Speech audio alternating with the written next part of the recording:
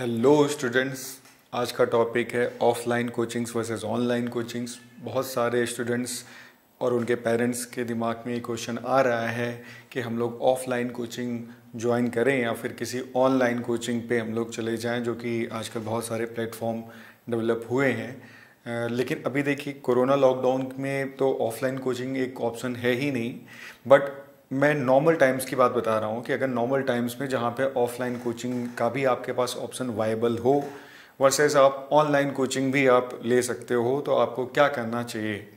बहुत सारे स्टूडेंट्स ऐसे हैं जो ऑफलाइन कोचिंग्स प्रेफर करते हैं। बहुत सारे स्टूडेंट्स ऐसे हैं जो ऑनलाइन कोचिंग जिनके लिए नया है। तो वो डिफरेंसेस हम लोग आज करेंगे डिस्कस और ये भी डिस्कस करेंगे कि ऑफलाइन से ऑनलाइन अगर आना चाहते हैं तो क्या वो सही ऑप्शन रहेगा या फिर नहीं रहेगा? तो हम लोग आगे बढ़ते हैं, हम लोग डिस्कस करते हैं कि ऑफलाइन और ऑनलाइन कोचिंग अगर आप भी इस दुविधा में पड़े हुए हैं, आप भी क्रॉस रोड्स पे आ गए हैं और आपको डिसाइड करना है कि आप ऑफलाइन कोचिंग ज्वाइन करें या ऑनलाइन कोचिंग ज्वाइन करें। अगर आप पहली बार कोचिंग ज्वाइन करने जा रहे हैं टेंथ से इलेवेंथ आते वक्त या अगर आप कॉम्पिटिटिव एग्ज़ाम के लिए ऑलरेडी एक ऑफलाइन कोचिंग ज्वाइन कर चुके हैं और अब आप जो है ऑनलाइन में स्विच करना चाहते हैं, या फिर अगर आप ऑनलाइन में थे और आप ऑनलाइन में सेटिस्फाइड नहीं हैं, क्योंकि क्वालिटी एक इशू है ऑनलाइन कोचिंग में आएँगे हम लोग उस पर तो हम लोग डिस्कस करेंगे आज ऑफलाइन और ऑनलाइन में पॉइंट टू पॉइंट कंपैरिजन करेंगे। तो देखिए पॉइंट टू पॉइंट में कंपैरिजन में जो सबसे पहला जो टाइम पहला जो पॉइंट आता है वो टाइम का है।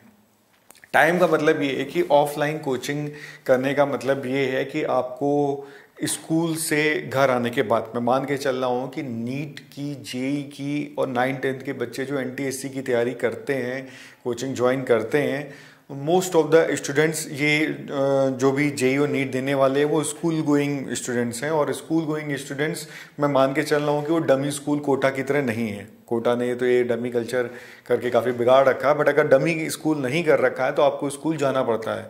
और मैं अगर आपको लखनऊ, कानपुर की बात करूँ तो ज़्यादातर बच्चों को स्कूल जाना ही पड़ता है।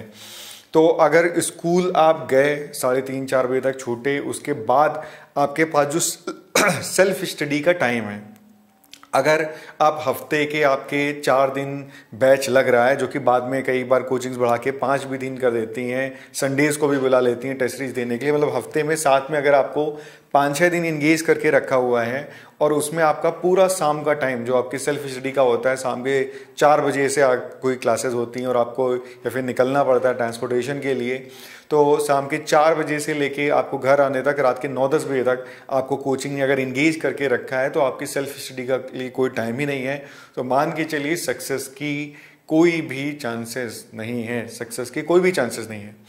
अगर कोचिंग्स में इस तरीके से जाने से ही सक्सेस हो जाती तो आप सोचिए कि क्यों ऐसा होता है कि हमारा जो सक्सेस रेट है, वो इतना कम है। मैं मैं बात कर रहा हूँ ऑफलाइन कोचिंग क्लासेस की। मैं बात कर रहा हूँ दिल्ली और कोटा और अगर हम बिग सिटीज़ में हैदराबाद ले लें या विजयवाड़ा ले लें या फिर लखनऊ या बेंगलोर, कोई भी ऐसा कोचिंग का हब ले सकते हैं। तो आप देखिए यहाँ पर जो ऑफलाइन कोचिंग्स हैं, इनमें जाने वाले बच्चों का भी सक्सेस रेट बहुत ज़्यादा अच्छा नहीं है। First big reason is it is time consuming आप अगर उस टाइम को वाइजली यूज़ करें वाइजली यूज़ करने का मतलब ये है कि जो क्लास में पढ़ाया जाता है, वो सारा आपके लिए डाउट नहीं होता है। आप अपने टाइम को जुडिशियसली यूज़ करें। आप अपने टाइम को सेल्फ स्टडी में डिवोट करें, खुद प्रॉब्लम सॉल्व करने पे, खुद की स्टडी पे फोकस करें, जो चीज़ें समझ में ना आए। तो आप उन चीज़ों को नोटिस कीजिए, उन चीज़ों को पिन पॉइंट करिए। उसको आप ऑनलाइन क्लासेस में ऑनलाइन क्लासेस में एक फ़ायदा है कि आप उन्हीं क्लासेस को अटेंड करिए, बाकी आप स्किप कर सकते हैं, जिनमें आपको डाउट है। और अगर आपको कोई पर्टिकुलर प्रॉब्लम आ रही है तो आप उसको पूछ सकते हैं या उसी स्पेसिफिक उसी डाउट को ही पूछ सकते हैं। इनफैक्ट हमारा जो पूछो तो एजुकेशन का प्लेटफॉर्म है। It's whole tag name is when in doubt पूछो तो। जब भी आपको पढ़ने में डाउट है तो पूछो तो। तो डाउट मैं इसीलिए एम्फेसाइज कर रहा हूँ, क्योंकि बाकी जो ईजी चीज़ें हैं, उन चीज़ों में टाइम वेस्ट करना, उनके लिए जाना कोचिंग आना, जाना, ये टाइम का वेस्टेज है। अगर आप अपने डाउट पे फोकस करें, जो आपको प्रॉब्लम से हर्डल्स आ रही हैं तो आपके टाइम को सेव करेगा। प्लस आपको कोचिंग के आने जाने का, जो ट्रांसपोर्टेशन का टाइम होता है, वो मनी का भी वेस्टेज है पेरेंट्स के लिए और टाइम का भी वेस्टेज है।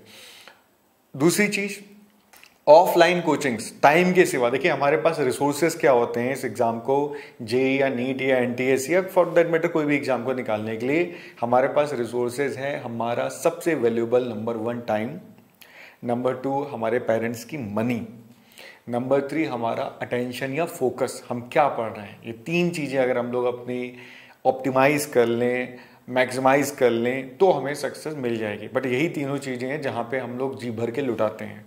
मैंने बताया टाइम कैसे हमने वेस्ट किया आने जाने में। दूसरा आते हैं मनी पे। Offline coaching classes high fee charge करते हैं। हाई फ़ी चार्ज करने का मतलब है, वैसे मुझे नाम नहीं लेना चाहिए बट ऐसे ऐसे कोचिंग क्लासेस है जो अपने टू ईयर प्रोग्राम के लिए। फोर लैख सिक्स लैख तक की वो आपको फ़ीस बताएँगे बट वो सबको डिस्काउंट देके फोर लैख पे ले आएँगे। या फिर कुछ कोचिंग क्लासेस ऐसे हैं जो दो दो लाख बताएँगे, फिर आपको डिस्काउंट लाख, करके डेढ़ लाख पे ले आएँगे दो साल का। बट आप देखिए कि उस फ़ी में हो कह रहा है? वो जो आपको स्वयं की सा फुल्ली एयर कंडीशन ऑफ़िस दिखाया गया है, वो एयर कंडीशन जो ऑफ़िस है, वो कहीं और से नहीं, आपकी दी हुई फ़ी से ही चल रहा है। भाई जो वहाँ पे बढ़िया बढ़िया काउंसलर्स बैठी हुई है आपको इम्प्रेस करने के लिए, वो कहाँ से आई हैं? वो आपकी दी हुई फ़ी से आई हैं? कोई वो जो मालिक है, जो ऑफलाइन कोचिंग क्लासेस का, उसकी जेब के पैसे नहीं है ये? तो ये जो हाई फ़ी चार्ज हो रही है, वो जो एसी आपको दिख रहे हैं एसी एयर कंडीशन क्लासरूम दिख रही है, पूरा एसी ऑफ़िस दिख रहा है मार्केटिंग से भरा पूरा आपको टीम दिखाई दे रही है, ये आपके पेरेंट्स की दी हुई फ़ीस से है। तो ये आपको पढ़ाई के लिए यूज़ नहीं हो रहा है ये डायरेक्टली आपको पढ़ाने के लिए लर्निंग के लिए ये पैसा नहीं यूज़ हो रहा है। तो ये जो ऑफलाइन कोचिंग क्लासेस का जो मॉडल है, जो बड़ा सा ऑफ़िस क्रिएट करके, ये इम्प्रेस तो बहुत अच्छा कर लेता है but it's an expensive learning method ज़्यादा अच्छा ये होता है कि आप अपने पैसे को ऑप्टिमाइज करते सीधे लर्निंग के लिए। सीधे आपके जो है पैसे। अब देखिए ऑनलाइन कोचिंग क्लासेस जो हैं, मैं सबकी बात सबकी बात तो नहीं करूँगा लेकिन online coaching classes comparably offline से चीपर हैं। और अगर हम पूछो तो एजुकेशन की बात करें तो पूछो तो एजुकेशन में one year programme is around thirty thousand rupees जो कि बाकी सबसे टेन परसेंट कम है। और टीचर्स की अगर हम बात करें तो ये एक बहुत बड़ा इंपॉर्टेंट इश्यू है। टीचर्स में कोई कॉम्प्रोमाइज़ नहीं होना चाहिए, क्योंकि अगर क्वालिटी कॉम्प्रोमाइज़ हो गई तो फिर तो ऑफलाइन और ऑनलाइन का कोई मतलब ही नहीं है। मेन फोकस तो हमें क्वालिटी ऑफ़ ट्यूटर्स या टीचर्स तो देखना ही पड़ेगा। थर्ड थिंग अगर हम ऑफलाइन कोचिंग में देखें तो क्लास में डिस्टरबेंस तो रहता है। अभी क्लास डिस्टरबेंस को बच्चे तो कई बच्चे तो मैंने देखा है। करीब 50-60 परसेंट बच्चे तो इस डिस्टरबेंस को इन्जॉय करते हैं। क्लास में बातचीत हो रही है डिस्टरबेंस हो रहा है कंसल्टेशन है, नहीं बन पा रहा है। टीचर पीछे मुड़ा लिखने के लिए बच्चे बात करने लगे, बच्चे उतना फोकस नहीं कर पाते हैं तो वो कोई इफ़ेक्टिव लर्निंग नहीं रहती है। बट अगर ऑनलाइन कोचिंग क्लासेस में देखें तो आप अपने घर में बैठे पढ़ रहे हैं, अपने स्टडी रूम में, कोई आपको डिस्टर्ब करने वाला नहीं है। आप एक focused clean clear calm mind से इफेक्टिवली स्टडी कर सकते हैं। आपकी सेल्फ स्टडी का टाइम है। ऑनलाइन लर्निंग आपके सेल्फ स्टडी को इम्फेसाइज कर रहा है।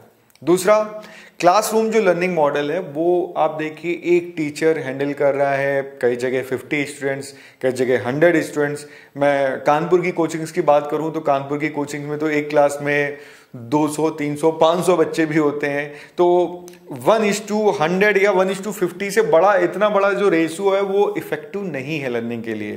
किसी बच्चे के दिमाग दिमाग में जो डाउट्स आ रहे हैं वो ना तो वो वहाँ पे एक्सप्रेस कर सकता है अपने डाउट को ना तो टीचर इंडिविजुअल डाउट या क्वेरीज को हैंडल करेंगे। Online coaching is like one to one process. One to one process का मतलब ये कि एक बच्चा बिल्कुल जो सामने ट्यूटर है, उसके साथ one is to one personalise way में चीज़ें डिस्कस कर सकता है और लर्निंग के लिए काफ़ी ज़्यादा इंपॉर्टेंट है कि group learning versus personalise learning हो सकता है कि किसी बंदे को, किसी स्टूडेंट को डिस्कशन से ज़्यादा फ़ायदा होता हो बट क्लास में भी डिस्कशन एसेस तो नहीं हो पाता effectively group discussion personalised model ही बेटर है, ज़्यादा बेटर वे ऑफ़ लर्निंग में। तो मैंने आपको कॉस्ट के बारे में टाइम के बारे में क्लास के डिस्टर्बेंस के बारे में और टीचर स्टूडेंट रेशियो के बारे में कुछ पॉइंट्स बताएँ। कुछ और पॉइंट्स भी डिस्कस करते हैं। ऑफलाइन कोचिंग्स जो होती हैं, उनमें मैंने बताया था कि हेजिटेशन बच्चा हेजिटेट करता है डाउट पूछने में। रीजन एक मैं आपको ये भी बता दूँ कि ऑफलाइन कोचिंग्स में टीचर अक्सर प्रमोट भी नहीं करते हैं। उनके ऊपर प्रेशर होता है सिलेबस ख़त्म करने का। तो वो अपने दिमाग में आते हैं एक एक सेट टारगेट करके कि आज हमें इतनी क्लास में इतना सिलेबस आगे बढ़ा देना है। अब कोई बच्चा अगर डाउट पूछेगा तो उससे उनका सिलेबस का जो भी टास्क उन्होंने अपने दिमाग में रखा, वो हैम्पर होता है। तो वो बच्चों के डाउट पूछने को डिस्करेज करते हैं। कई बार ये भी देखा गया कि बच्चे जब डाउट पूछते हैं तो टीचर उन बच्चों को मॉक करते हैं, उनका मज़ाक उड़ाते हैं और ये एक टीचर स्टूडेंट फाइट टाइप की क्लास में चलती रहती है। और बच्चा डाउट पूछने से डिस्करेज होता है, जबकि बच्चे के दिमाग में जेनुइन डाउट आ रहे होते हैं और हो सकता है कि किसी और को समझ में आ रहा हो बट उसके दिमाग में वो चीज़ नहीं समझ में आ रही है और वो चीज़ बाकी चीज़ों वो जो जो उसके दिमाग में डाउट अनसॉल्व रह गया, वो उसको बाकी जो लर्निंग है, उसको हैम्पर कर रहा हो। लेकिन अगर आप ऑनलाइन मॉडल में जाओगे तो ऑनलाइन मॉडल में तो आपकी इंस्टेंट डाउट क्लियरिंग सपोर्ट हो सकती है। मतलब जैसे अगर आप पूछो तो ऐप पे जाओ तो पूछो तो ऐप में हम लोग ये फीचर लाने वाले हैं कि आपने किसी टीचर से डाउट पूछना है तो देन एंड देयर इटसेल्फ आप एक डाउट डिस्कशन के लिए टीचर से डायरेक्टली आप सेशन स्टार्ट कर सकते हो। या अगर आपको कोई डाउट अगर आपको इन जनरल अपने पीयर ग्रुप में पूछना है तो आपने उसकी पिक लिया स्नैपशॉट ली और उसको फोरम में पोस्ट कर दिया। लाइक व्हाट्सएप और आपको, आपके पीयर ग्रुप से या टीचर से उसका एक रिस्पॉन्स मिल गया। आपके एग्जैक्ट उस डाउट का जो आपको परेशान कर रहा है। और ये ऐसा बाकी भी ऑनलाइन कोचिंग्स में है। दूसरी एक और इंपॉर्टेंट चीज़ होती है कि अक्सर ऑफलाइन कोचिंग्स में जब बच्चों की कोई लेक्चर मिस हो जाता है, और देखिए, कोई भी भगवान नहीं हंड्रेड परसेंट अटेंडेंस रख पाना नेक्स्ट टू इम्पॉसिबल होता है। किसी फैमिली फ़ंक्शन की वजह से, किसी इमरजेंसी की वजह से स्कूल में किसी प्रॉब्लम की वजह से बच्चे की अगर कोई क्लास मिस हो जाती है तो जब वो अगले दिन क्लास में जाता है तो मैंने देखा कि कोचिंग क्लास में टीचर्स उस बच्चे का मज़ाक उड़ाते हैं। बोलते हैं कि तुमने क्लास मिस कर दी और अब तुमको समझने में दिक्कत होगी। वो बच्चे को समझने में सच में दिक्कत होती है और जब वो टीचर के पास अलग से जाता है उसको पूछने के लिए कि जो मेरा मिस हो गया वो पढ़ा दीजिए तो मुझे नहीं लग रहा कि ऑफलाइन कोचिंग्स में टीचर के पास इतना टाइम होता है, क्योंकि इतना टाइट शेड्यूल होता है। और अगर हो टाइम होता भी है तो वो प्रेफर नहीं करते हैं कि बच्चों को वो बताएँ, जो मिस्ड क्लासेस हैं। तो जो बच्चे की मिस क्लासेस है, वो बच्चे का हमेशा एक एक्ली झील बन के रह जाता है वीक पॉइंट बन के रह जाता है। एक सोर पॉइंट बन के रह जाता है, जो कि वो उसका चैप्टर ही वीक कर देता है। लेकिन अगर आप ऑनलाइन कोचिंग्स में जाएँ, जहाँ पे आपके पास पूरा का पूरा एक रिकॉर्डेड जो भी आपकी जो क्लासेस होती हैं, वो रिकॉर्डेड फॉर्म में बनी रहती हैं तो आपके पास मिस करने का कोई मतलब ही नहीं है। जब भी आपकी कोई क्लास मिस हो जाती है। मान लीजिए कोई लाइव क्लास मिस हो गई तो आप उसको रिकॉर्डेड लेक्चर से देख लीजिए। अब रिकॉर्डेड लेक्चर्स तो जैसे कई बार जो ऑफलाइन क्लासेस होती हैं वो भी देती हैं। मैंने देखा है कि एक पर्टिकुलर कोचिंग का एक सेटअप आता है आई ट्यूटर बोल के बट वो इतनी बोरिंग और इतनी आ, बोलेंगे कि ऐसी होती हैं, दूसरे टीचर से बोल सकते हैं कि जो आपको नॉर्मल कोचिंग में पढ़ा रहे हैं, उनसे डिफरेंट होती हैं, जिनसे आप सेट नहीं कर पाते हो सिंक्रोनाइज नहीं हो पाते हो। तो जिन टीचर से आप रेगुलर क्लासेस ले रहे हो, अगर उन्हीं की आपको रिकॉर्डेड क्लासेस मिल जाएँ तो आपको क्लास मिस करने का कोई डर नहीं रहेगा। दूसरा, जो ऑफलाइन कोचिंग्स है, उनमें आप टीचर की मर्ज़ी के हिसाब से टीचर के पेस से लर्न कर रहे हो। भाई, आपका पेस हो सकता है फास्ट हो या आपका पेस स्लो हो। देखिए, अगर आप हाई अचीवर हैं, आपने पहले से आपने एम है कि आपको तो नीट तो निकलना ही निकलना है, अब आपको अच्छी रैंक लानी है। या अगर आपने पहले से दिमाग में है कि आपको 99 परसेंटाइल तो आप कैपेबल हुई, अब आपको और अच्छा करना है आईआईटी के लिए आपको फाइट करनी है। तो आप चाहोगे कि आपका सिलेबस तो भाई बाकी लोगों से बहुत पहले खत्म हो जाए, जबकि आपके ऑफलाइन कोचिंग में तो ऐसा हो ही नहीं सकता, वो तो सबके साथ ही होगा।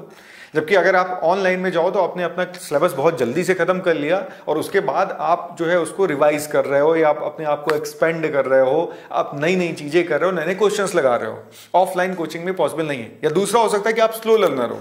बाकी जो लोग नौ महीने में कर लेते हो प्रिपरेशन आपको ग्यारह महीने या दस महीने लगते हो।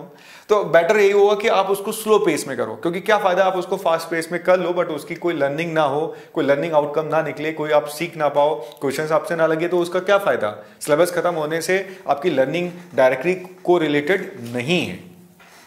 दूसरी चीज़ आप आ, किसी चीज़ को कैसे मेमोराइज करते हो? आपको किसी चीज़ को मेमोराइज करने का दिमाग में बैठाने का एक ही तरीका कि आप उसको बार बार रिवाइज करो। क्लास में बहुत अच्छे अच्छे पॉइंट्स बताए जाते हैं बट अगर वो मिस हो गए आपसे तो वो मिस हो गया हमेशा के लिए। जबकि अगर आप ऑनलाइन क्लासेस के वीडियो लेक्चर्स की आप बात करोगे तो उनको आप बार बार मल्टीपल टाइम्स देख के आप बहुत इजीली रिवाइज कर सकते हो, और सुनी हुई चीज़ें, देखी हुई चीज़ें बहुत इजीली दिमाग में बैठ जाती हैं। ये तो खैर साइंटिफिक ब्रेन के ऊपर मॉडल है, ये सबको पता है।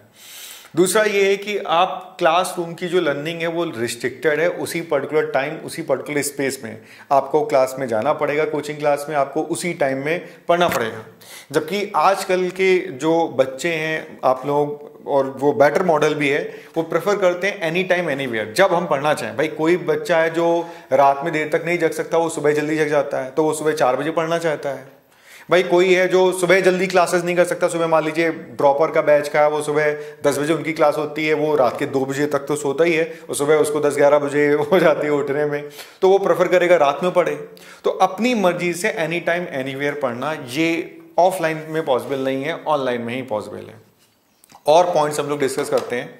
देखिए, ये एक प्रॉब्लम आती है। अगर आप कोटा की कोचिंग्स में देखेंगे, दिल्ली में देखेंगे, कानपुर और हर जगह ही ऑलमोस्ट आप देखेंगे तो ये है कि बच्चों के बैचेस में भी सेगमेंटेशन होता है। एक पर्टिकुलर बैच हर कैटेगरी का इलेवेंथ है तो एक ट्वेल्थ है एक, या ड्रॉपर है तो एक एक बहुत बढ़िया बैच बना देते हैं उस पर्टिकुलर कैटेगरी का। उसको कुछ टॉप बैच या स्कॉलर बैच या रिपीटर्स बैच या कुछ ऐसे ही अचीवर्स बैच कुछ नाम दे देंगे और उसमें सबसे अच्छी फैकल्टी को लगा देंगे इंगेज कर देंगे। अब बाकी बच्चे डिस्क्रिमिनेटेड फील होते हैं। मतलब एक तरीके से आप समझ लीजिए कि यूनिफॉर्म टीचिंग नहीं दी जाती है। टीचर्स की क्वालिटी बैच टू बैच बदलती है। और वो जो पढ़ा रहा है टीचर वो भी ए, एक ही टीचर अलग अलग बैच में अलग अलग पढ़ाता है डिपेंडिंग अपॉन स्टूडेंट्स वो देख लेता है कि अगर एक भी बच्चा या एक एक किसी बैच में दस बच्चे हैं जो उसे डिस्टर्ब कर रहे हैं जो कि टेन परसेंट ही है तो वो बाकी नाइन्टी परसेंट को भी खराब तरीके से पढ़ाएगा जल्दी से कोर्स खत्म करने की कोशिश करेगा। तो ऐसा जो है कई बच्चों के साथ ये एक तरीके से डिसएडवांटेजेस होता है और कई सारे बच्चों के लिए ये डिस्क्रिमिनेटरी तो है ही। तो ऑनलाइन में क्या आया आपको uniform set of faculty uniform manner में पढ़ा रही है, आपको ये नहीं सोचना पड़ेगा कि ये खराब फैकल्टी मुझको असाइन की गई है अच्छी फैकल्टी मुझे नहीं मिल पाई। आपने चूज़ किया है, जिस फैकल्टी से आपको पढ़ना है, आपको जिस भी कोचिंग में अच्छे फैकल्टी आपको मिले। आपको अन अकेडमी में मिलते हैं तो आप अन अकेडमी वालों के साथ अगर आपकी अच्छी हो रही है तो आप वहाँ पढ़िए। अगर आपकी वेदांतु से होती है तो आपको वहाँ पढ़िए। जिसके साथ आपकी ट्यूनिंग नहीं बैठ रही, आप वहाँ ना पढ़िए। जहाँ पे भी आपकी होती है, आप खुद से चूज़ कर रहे हो तो ये तो नहीं होगा कि कम से कम आप बाद में बोलो कि हमें अच्छी फैकल्टी हमारे बैच में ऐसा ही नहीं की गई। हमको ज़बरदस्ती थोप दी गई। जबकि ऑफलाइन में तो ज़बरदस्ती थोप दी जाती है। आपको बैच है, अब ये फैकल्टी असाइन है तो आपको उनसे पढ़ना है तो पढ़ना है। दूसरा ऑफलाइन कोचिंग्स में chalk and board learning model होता है। Chalk and board learning model में सबसे बड़ी प्रॉब्लम ये है अब एक डायग्राम बनाना है तो घंटों घंटों उस डायग्राम में बनेंगे। मल्टीमीडिया का कोई स्कोप नहीं है। विजुअल प्रेजेंटेशन का कोई स्कोप नहीं है। भाई, आजकल के ज़माने में जब आपके, मैं एक सब्जेक्ट की बात करूँ बायोलॉजी की, जहाँ पे अच्छे अच्छे मल्टीमीडियाज हैं, आपको पूरा कोई बॉडी का स्ट्रक्चर बता रहे हैं, बहुत बढ़िया कलरफुल डायग्राम के साथ, एक मल्टीमीडिया के साथ अगर आपको केमिस्ट्री या बायो की चीज़ें बताई जा सकती हैं। तो आप क्यों उस चौक एंड बोर्ड पुराने मॉडल में पढ़ना चाहते हो? दूसरी इंपॉर्टेंट चीज़ स्टूडेंट के परफॉर्मेंस पे कोई डिटेल फीडबैक कोई नहीं बनाता। ऑफलाइन कोचिंग में तो खाली एक, आपने ये टेस्ट दिया, ये आपके मार्क्स हैं, ये आपकी रैंक है टॉपर तो खैर एक ही होगा। बाकी लोगों को पता ही नहीं चला उनका क्या स्ट्रॉन्ग एरिया है, क्या वीक एरिया है, कोई एनालिसिस नहीं। जबकि online coaching classes proper detail analysis देती हैं। अगर आप पूछो तो ऐप डाउनलोड करेंगे तो आप देखेंगे, आपने कोई भी टेस्ट सीरीज़ का एक फ्री टेस्ट पेपर दिया। जैसे अगर आप नीट के एस्पायरेंट हैं तो अब अगर आप जाएँगे, नीट 2020 वाले में एक पहला टेस्ट पेपर पड़ा हुआ है फुल लेंथ का 180 क्वेश्चन का। अगर आप देंगे वो थ्री आवर का टेस्ट तो आप देखेंगे आपकी जो एनालिसिस आएगी वो पूरी डिटेल होगी, पूरे चार सवार्स के साथ आपको परसेंटेज और पीयर ग्रुप से कंपेयर करके साथ। तो ये एक बहुत अच्छी चीज़ है। ऑनलाइन कंप्यूटर बेस्ड मॉडल है तो आपको डिटेल एनालिसिस देता है। दूसरा कॉस्ट के बारे में ये तो खैर पॉइंट हम लोग डिस्कस कर ही चुके हैं। कॉस्ट हर तरीके से ऑफलाइन की ज़्यादा है। भाई, आपको वहाँ पे फ़ीस ज़्यादा देनी पड़ती है बिल्डिंग इंफ्रास्ट्रक्चर का पैसा भी आप, आपको दिखने में अच्छा लग रहा है बट आप ही दे रहे हो। दूसरा, आपको ट्रांसपोर्टेशन का कॉस्ट है। ये सब ऑनलाइन में नहीं है। दूसरा ऑनलाइन में ऑफलाइन में आपको हैंड रिटर्न क्लास नोट्स बनाने पड़ते हैं। कई लोगों के मुश्किल से five percent of the batch होगा जिसके पूरे नोट्स कंप्लीट होते होंगे। जबकि आजकल का ज़माना ये कि आपको नोट्स पूरे interactive video lectures e books PDF form में, ये सब आपको मिल जा रही है, जिसमें विजुअल मीडिया के फॉर्म में है। तो आप उन चीज़ों को हटाओ, आप चीज़ों को समझने पे ध्यान दो। नोट्स बनाने में अच्छी अच्छी राइटिंग से बनाने में टाइम वेस्ट मत करो। आप अपने की पॉइंट ज़रूर एक जगह कहीं पे हैंड रिटन बना लो, लेकिन बेस्ट यही है कि आप फालतू की एक एक चीज़ लाइन लिखने में टाइम और एनर्जी वेस्ट ना करो। राधा दिन आप नए नए क्वेश्चन करने में, अच्छे से चीज़ों को समझने में ध्यान दो। फोकस करो, इसी को तो स्मार्ट लर्निंग कहते हैं। तो अगर आप कंफ्यूज हो कि अभी भी ऑनलाइन या ऑफलाइन में तो मैं, देखिए, मेरा जो वेइंग बैलेंस है, वो तो ऑनलाइन की तरफ़ ही ज़्यादा जा रहा है। आपको दिख ही रहा होगा। बट जो लोग कंफर्टेबल नहीं हैं, इतने सालों से उन्होंने स्कूल्स में या फिर बाहर जो कोचिंग्स की हैं ऑफलाइन की हैं तो जो लोग कंफर्टेबल नहीं हैं, उनको मैं एक कंपोजिट मॉडल जो है सजेस्ट करूँगा कि वो for the time being offline और ऑनलाइन दोनों को करके देखें। ऑफलाइन ऑनलाइन दोनों करके देखें, या फिर एक थर्ड मॉडल हो सकता है कि अगर आपको कोई ऐसी ऑनलाइन कोचिंग मिल जाए जो आपको ऑफलाइन मिल के कई होता है ना बच्चों को मिल के टीचर से मिल के जो फीलिंग आती है डाउट पूछने की या उससे अपने क्वेरीज डिस्कस करने की, वो ऑनलाइन में नहीं मिल पाती तो कोई ऐसी कोचिंग ढूंढें जो उनको ये सपोर्ट भी दे सके। ऑनलाइन कोचिंग सब कुछ बढ़िया है। वो आपको वीडियो क्लासेस मिल रही हैं, आपको पीडीएफ मिल रहे हैं, आपको एक्सरसाइजेस टेस्ट पेपर सब ऑनलाइन मिल रहे हैं। बट आप कहीं जाके ऑफलाइन पूछ सको। जैसे मान लीजिए कोई दिल्ली का स्टूडेंट है तो अगर बहुत अच्छा होगा कि वो उसने ऑनलाइन कोचिंग क्लास कहीं की भी ज्वाइन कर ली बट उसने ऑफलाइन के लिए दिल्ली में ही उसको लोकल टीचर्स का कोई सपोर्ट मिल गया। या सिमिलर वे लखनऊ के लिए हो सकता है कि आपने ऑनलाइन कोचिंग क्लास ज्वाइन की बट आपको जब डाउट होते हैं तो वीक का एक डे आपको उन्हीं टीचर्स के साथ डिस्कस करने का फेस टू फेस मिले। तो इस टाइप का कंपोजिट मॉडल ही हम लोग यहाँ पे पूछो तो में डेवलप करने का कोशिश कर रहे हैं। और मेरा जो जो डिसीज़न होगा, वो डिसीज़न क्या वो आप लोगों का, जो डिसीज़न होगा, ये सारे प्रॉस एंड कॉन्स देख लीजिएगा। But I will opt for मतलब मैं जो सजेस्ट करूँगा, अगर मुझे किसी को सेशन देना होगा तो इट वुड बी ऑनलाइन और बेटर कंपोजिट मॉडल ऑफलाइन का ज़माना तो हंड्रेड परसेंट चला गया। Thank you